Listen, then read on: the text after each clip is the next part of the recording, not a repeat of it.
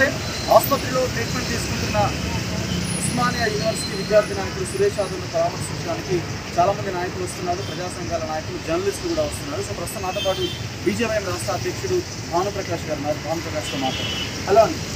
So ఏంటి పరిస్థితి? ఇంత దారుణమైన సిచ్యువేషన్ కనిపిస్తుంది.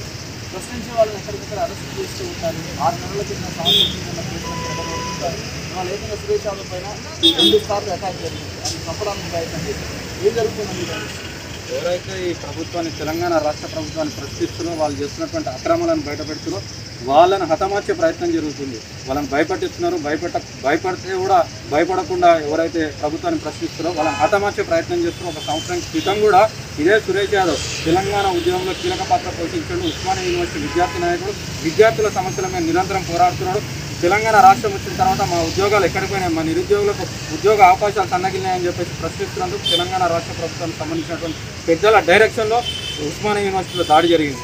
అది జరగ అది అది మానక ముందుకే మరొకసారి మొన్న హుజురాబాద్లో ఈటల రాజేందర్ గారికి జరిగినటువంటి అవమానాన్ని ఆయన తెలంగాణ రాష్ట్ర ప్రభుత్వాన్ని ప్రశ్నించి ఈటల రాజేందర్ గారికి మద్దతు తెలిపితే వెంటనే వారి మీద వారు నిన్న స్వగ్రామానికి వెళ్తే వారి మీద దాడి చేసి గాదర్ కిషోర్కి సంబంధించినటువంటి అనుసరణ దాడి చేసి వెంటనే వారి మీద కేసు బుక్ చేయాలా?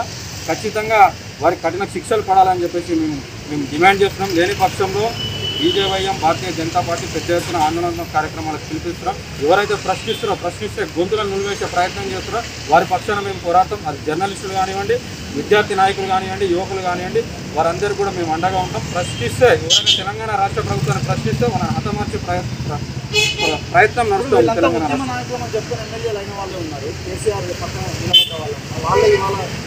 ప్రశ్నిస్తున్న వాళ్ళ మీద దాడులు చేయిస్తున్నారు. ఇది ఏ రకంగా చూడాలంటారు? కేసీఆర్కి భజన కొట్టే బ్యాచ్ తెలంగాణ ఉద్యమకారులు చూస్తున్నటువంటి పక్కన ఉన్నటువంటి ఎమ్మెల్యేలు కూడా వాళ్ళు ఏ విధంగా ఎమ్మెల్యేలు గాదరి కిషోర్ కానీ బాలకృష్ణమన్ కానీ ఎవరైతే ఉద్యమకారులు వాళ్ళందరినీ కూడా గుండెలు పెట్టుకుని తెలంగాణలో పాల్గొన్నటువంటి యువత విద్యార్థులంతా వాళ్ళని గెలిపించారు. తెలంగాణ రాష్ట్రం ఏర్పడిన తర్వాత వీళ్ళ నాయకులు అయితే మన అందరి సమస్యలు తీరుస్తారు విద్యార్థులు యువత సమస్యలు తీరుస్తారంటే వాళ్ళందరూ కూడా కేసీఆర్ భజన కొట్టడానికి ఉన్నారు తప్పిస్తే ఎవరైతే ప్రశ్నిస్తారో ఈ ఏడు సంవత్సరాలైంది తెలంగాణ రాష్ట్రం ఏర్పడి ప్రభుత్వం ఏర్పడి ఏడు సంవత్సరాలైంది ఎవరికి కూడా న్యాయం జరగలేదని ప్రశ్నిస్తుంటే ఆ ప్రశ్నించే గొంతుల మీద దాడి చేస్తారు ఏవైతే సమస్యలు తీర్చాలన్నా సమస్యలు తీర్చే చాతగాక వాళ్ళకు దమ్ము లేక ఆ సమస్యలను తీర్చే ప్రయత్నం చేయలేకుండా ఎవరైతే ప్రశ్నిస్తారో ఆ గొంతులను ఆపేసే ప్రయత్నం చేస్తారో వాళ్ళను హత్య వాళ్ళ మీద హత్యాయత్నం కూడా ప్రయత్నాలు చేస్తూ ఉన్నారు. రాష్ట్రంలో ఎమర్జెన్సీ విధించాలని చెప్పి కూడా మేము డిమాండ్ చేస్తున్నాం. ఏం చేయబోతున్నారు? ఇలాంటి ఘటనలు పునరావృతం కాకుండా? మేము న్యాయపరంగా అన్ని అన్ని కొనాల్లో న్యాయపరంగా కూడా మేము వీటి మీద ముందుకు పోతున్నాం. అదేవిధంగా భారతీయ జనతా పార్టీ యువ మోర్చా పెద్ద ఎత్తున యువత విద్యార్థులకు జర్నలిస్టులకు పెద్ద ఎత్తున మేము వాళ్ళకు మద్దతుగా మేము ఆందోళన కార్యక్రమాలు చేస్తాం. ఎట్టి పరిస్థితుల్లో రాబోయే రోజుల్లో ఏ ఒక్క విద్యార్థి కానీ యువకుడు కానీ జర్నలిస్టు మీద దాడి జరిగితే సహించే ప్రశ్న లేదు. రాష్ట్రం అగ్నిగుండం అవుతుందని చెప్పి కూడా ఈ సందర్భంగా హెచ్చరిస్తున్నాం.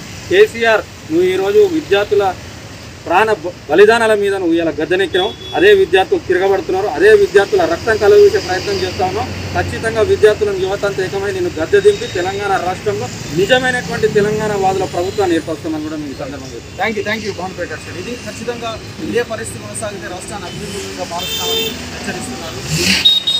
ఇలాంటి పరిపాలన పనుల్ని మానుకోవాలని హెచ్చరిస్తున్నారు. జ్ఞానేశ్వర రఘు